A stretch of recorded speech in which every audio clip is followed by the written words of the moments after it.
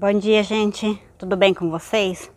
Vou mostrar as flores agora aqui, as minhas matrizes, depois de eu cortar as ponteiras dela para usar para fazer enxerto. Já estão todas de volta no local delas aqui no sol. E agora torcer para, além de ter chuva, ter algum solzinho de vez em quando para elas começar a emitir brotação. Olha, cortei a ponteira de quase todas. Algumas com flores, essa dali eu não mexi. Essa é uma amarelinha, creme. E a maioria delas eu, eu cortei a ponteira.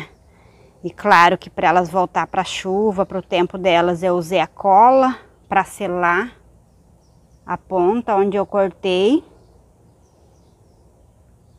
Algumas, essas, essa daqui e aquela ali, a da lila, eu não cortei. Mas elas continuam no local delas. Aqui todas eu usei só a ponteira. Essa daqui é a bridal.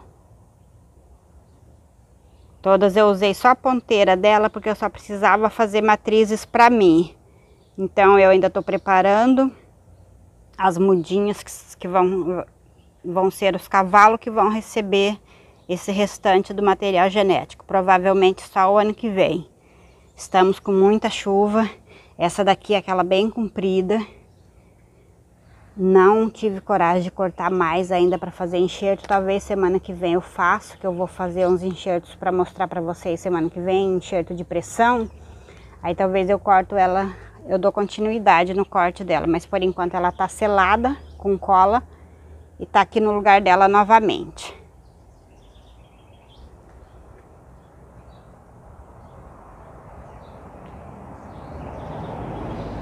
Aqui é a outra da amarela creme.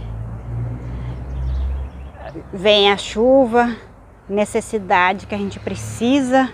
A chuva a gente não fica sem água, mas junto vem as pragas. Não sei se vocês viram, a abelhinha preta arapuã acabou de voar daqui. E essas abelhas, quando elas atacam as plantas da gente, elas acabam.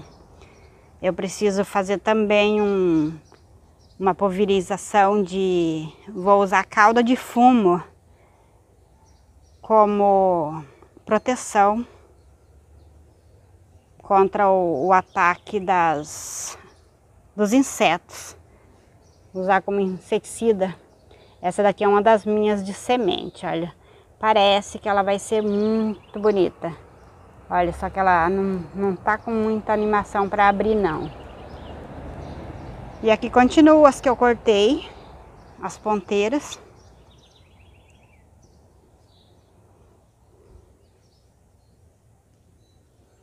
Poucas flores. Caiu.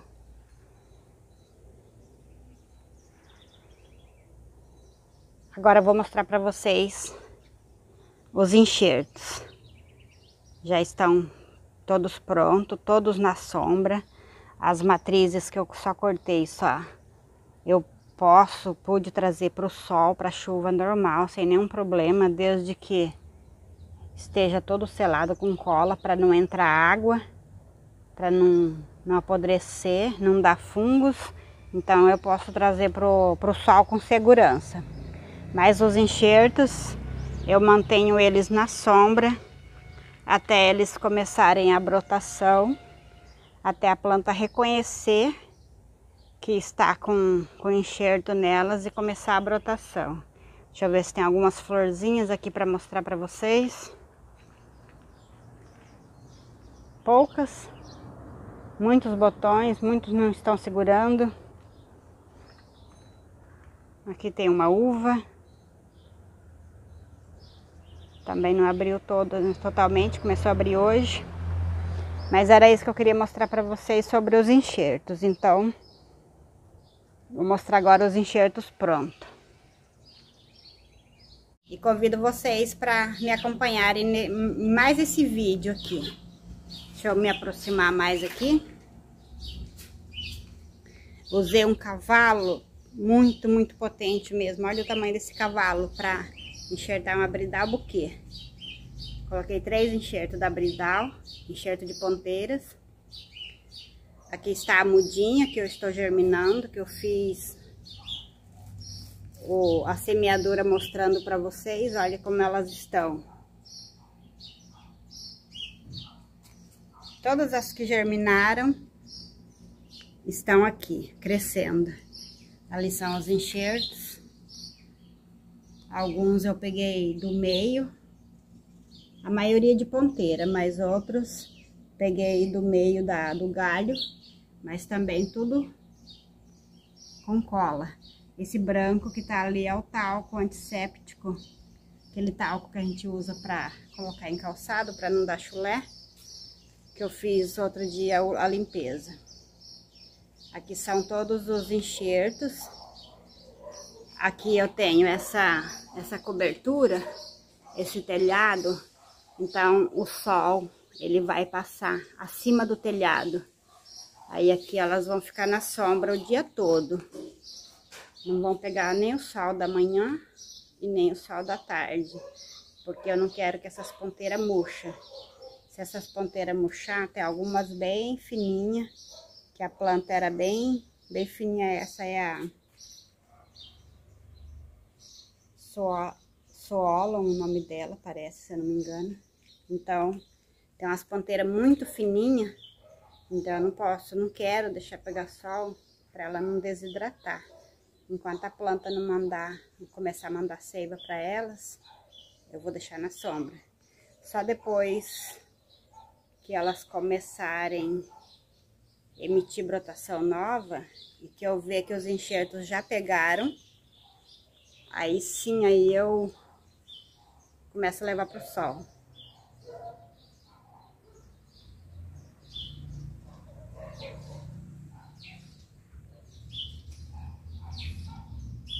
todas identificadas com plaquinha, com o nome delas, para eu não me perder.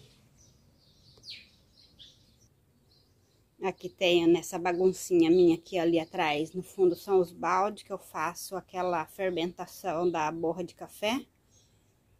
E aí eu usei esse espaço que é na sombra também, para manter os enxertos.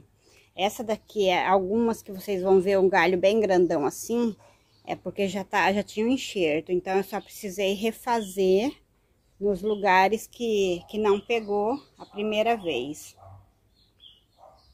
Olha, todos os cavalos bem bacana. Lembrando novamente que esses enxertos não estão à venda.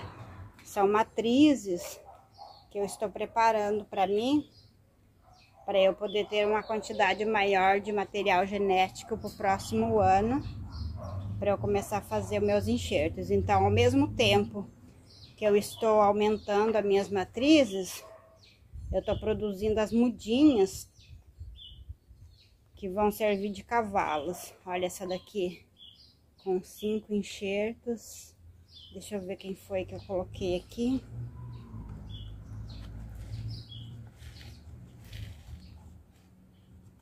Só nascente. Coloquei cinco enxertos da sal nascente, que é um laranjada muito bonito. Olha, todos de a maioria são de ponteira. Ali atrás é uma planta que eu fiz a poda radical. Então ela tá na sombra também se recuperando antes de ir pro sol. Usei todos aqueles cavalos grandes que eu tinha, são cavalos de dois anos. Essa daqui foi o enxerto que eu fiz para vocês, fiz completo, colocando o saquinho em forma de estufa. As outras todas ali, eu não, não coloquei o saquinho, porque como eu falei lá no vídeo, a gente tá com uma... a umidade do ar bem boa, bem bacana. Então, eu, eu fiz esse daqui, eu, como eu fiz o enxerto mostrando para vocês, eu fiz completo e coloquei o saquinho, que seria é a forma que eu uso no tempo da seca. Então, agora, como não tem necessidade, eu não coloquei nas outras ali. E esses aqui são enxerto de pressão. Esse aqui eu não, não filmei para vocês verem. Vai ter logo, logo os próximos vídeos aí no canal eu mostrando os enxertos de, de pressão. Por enquanto eu fiz com cola. Aqui tem mais dois. Esse daqui. E esse aqui, ó, que são enxerto de pressão. Os próximos vídeos eu mostro pra vocês como que eu faço. É isso daí, gente. Eu queria mostrar pra vocês os enxertos todos depois de pronto aqui. Agora só estão na sombra, recuperando. Ali são galhos, os galhos que eu fiz a poda, que em breve eu vou mostrar para vocês também como eu faço para enraizar. Ali atrás eu tenho alguns galhos já enraizados que eu preciso passar para vasos. E ali algumas mudas arrancadas que eu também ainda não tive tempo de plantar. Algumas que chegou pelo correio, que tá nessa bagunça aqui. E eu, eu ainda não pude plantar porque eu tava fazendo os enxertos. Essa daqui, deixa eu ver aqui atrás. Essa é a, a Rihanna. Uma flor linda, linda. A Rihanna, olha o tamanho desse enxerto. Chegou pelo correio semana passada. Chegou com folhas, chegou perfeito, em perfeito estado. Deixa eu ver as outras aqui embaixo. Nossa, que bagunça que tá aqui. Mas, normal. Essa é a NR12. Elas chegaram todas com folha. Eu que fiz o corte aqui. Porque como eu vou poder plantar só segunda-feira... E essa estaca que eu ganhei de brinde. Do local que eu comprei. Outras estacas para eu enraizar. Todas aí. Então, serviço é o que não falta para fazer aqui a minha Rihanna, linda, maravilhosa, olha só, e a flor é mais linda ainda, mas olha o tamanho desse enxerto, olha que enxerto maravilhoso. E chegou já, acho que quinta-feira pelo correio, eu ainda não tive tempo de, de plantar, isso vai ficar para segunda-feira, graças a Deus a gente tá com um clima bem bom aqui, não vai acontecer dela desidratar. Gente, ficam todos com Deus. Tenham um bom dia, um bom final de semana para todos. Gratidão a vocês. Ficam todos com Deus.